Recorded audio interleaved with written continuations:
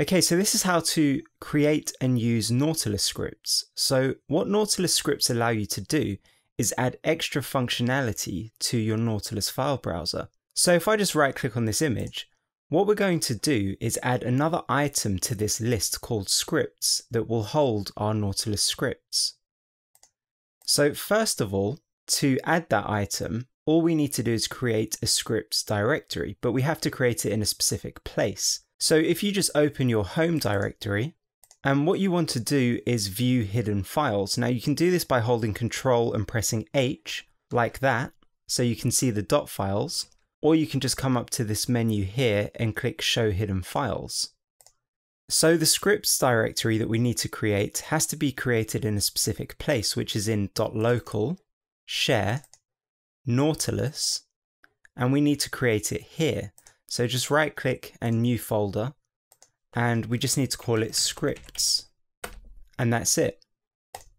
So if we just go back to our previous directory, which was on the desktop, and just right click on a file, you'll see that we don't have our new entry yet. And that's because we need to at least put one script in our scripts directory. So I've actually just created a test script for this. So I'm just going to copy that and let's just go back to home.local share nautilus and scripts and let's just paste that in. And there's one more thing that we need to do and that is make this script executable. So if we just right click and then open in terminal, that will open up a terminal whose working directory is within that directory. So we're in local share Nautilus scripts and we just want to chmod u plus x and the name of our script. So now it's executable, we can get rid of this. And if we just go back to our desktop and to that directory, if we now right click on a file, we have our scripts item here and our test script is being listed. Now we can also get to our scripts directory just by clicking this option here, which is open scripts folder. So if we just click on our test script to run it, you'll see that a file has been generated here. So let's open this file and let's just open it with Sublime. So there we go. So when you run a Nautilus script, Nautilus creates a couple of environment variables.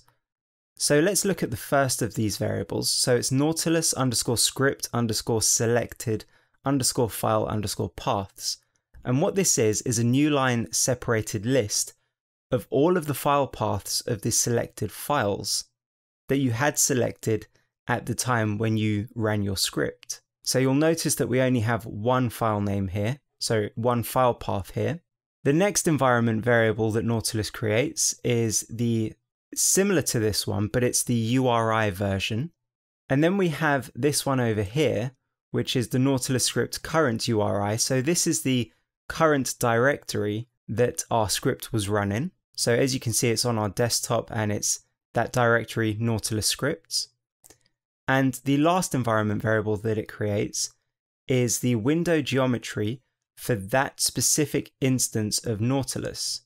So it's the width of that window, which is 1920, and the height, which is 1012, and then the x and y coordinates of the top left corner of that window. So let's close this and then let's run it again, but this time for two files. Just right click scripts and test. And then we can just open our file up again with Sublime. So you can see that we now have two entries for our selected paths and selected URIs but we still have the same current working directory. So the current URI to our working directory that this script was triggered in. And the geometry of our window hasn't changed. So let's just close this and let's have a look at the actual script that generated this. So if we just go to home, local, share, Nautilus, scripts, and let's open this with Vim. So let's modify this script that I wrote to make smaller versions of any images that are selected. So we can start by just getting rid of the lower half. So if we just jump down here, we can just get rid of that. We're going to keep this for loop and modify it. We're going to get rid of this. And we're going to get rid of this line here. So these are the lines that we're going to keep. So IFS is the internal field separator and what this is doing is it's telling bash that we want to use new line characters as our separator instead of what it previously had, which in my case is spaces. Now this is needed because if we had any spaces within our file paths, so as you can have spaces within file names, this would actually, when we iterate over this variable here, what would happen is our script would pick up the first part of that file path as and treat it as one file path. And then the next bit after the space, it would think that that was a separate file. But as we know, both of those files don't exist. So let's just modify this and let's use FFmpeg to do our image rescaling. So let's just come down to this line and let's just delete this. We don't need that. We'll keep the dollar $i and we'll just delete everything up until the end of the screen.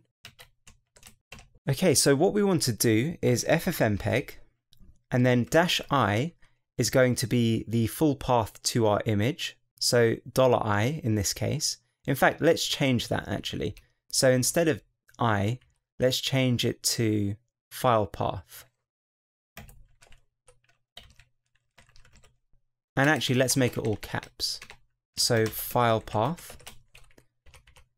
And this is going to change to dollar file path. And now let's use a video filter and its scale that we want to use. And let's say, let's make very tiny versions of our images. So we want to scale the width to 100 pixels and we want to maintain the aspect ratio, so just minus one. And now we need to set our output file name. So let's keep the original file name, but prepend it with something like small underscore. So to do that, we can just type in small underscore. And here's one thing that we need to remember. We can't put dollar file path because that is going to be the full file path to that file. So that's going to be something like slash home slash Linux leech slash desktop and then the name of the file. What we're really interested in is just the end part of our file path where it has the actual file name. So to get that, there's a number of ways that we can do it, but I'm just going to use base name and command substitution. So we want dollar, open up brackets, base name, and now we need to provide our file path. So dollar file path, and just close off this command substitution and that should do it. So let's just go over this quickly. So what we're doing is we're iterating over this environment variable, which is a list of file paths, and we're providing them one at a time to an instance of ffmpeg over here, converting the scale of the image, and then we're creating a new file name, which is going to be small underscore and then the original name of that file. And this will also keep the original extension. So we're not going to be transcoding JPEGs to PNGs or PNGs to JPEGs and so on. So let's just save and quit this. And let's just go back to our desktop and back to where our images are. Let's just delete this Nautilus script file here. So if we just right click on one image and then run our test script, you'll see that it's generated another image. So if we just right click on this and look for details, so image, you can see that the width is 100 pixels and the height is now 150 pixels. So if we just compare that to our original image, so properties, image, you can see that we've successfully shrunk our image. So let's do it to a couple of other images. So we don't have to just select one. In fact, let's just delete this. We can select a number of images. So let's just select them all, right click, scripts and test. And as you can see, it's generated four new images. So let's just open them. So you can see they're really tiny images. So there's the first one, second, third, and fourth. And now here are the original images. So let's just maximize this. So there's the first one, second, third, and fourth. So what would happen if we just select a directory? So let's just delete these and let's go back up to the desktop and let's try and run our script on this directory to see what happens.